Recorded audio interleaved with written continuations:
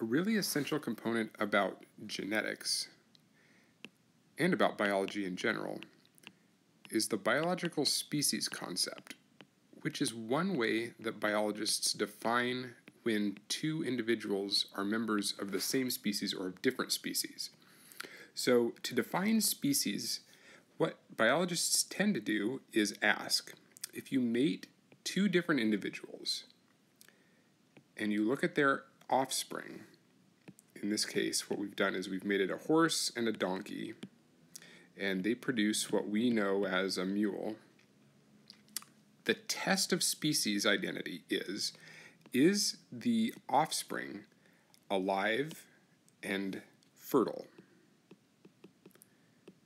And these two questions get at the basic definition of the biological species concept, which is that if two individuals are members of the same species, they will produce an individual offspring that is viable, that is, they survive development and are alive as an offspring.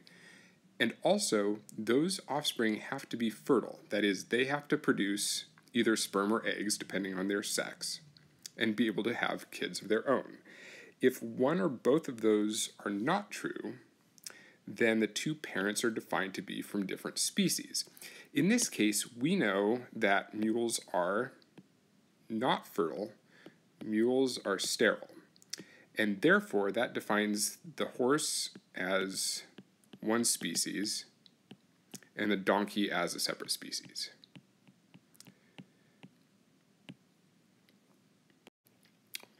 There are other species concepts or definitions that exist, but this is the one that most biologists are familiar with and tend to use except for in extreme cases like cases of organisms that don't have sex, like bacteria. Now, a huge concept in genetics and in biology in general is the question of why is the mule sterile?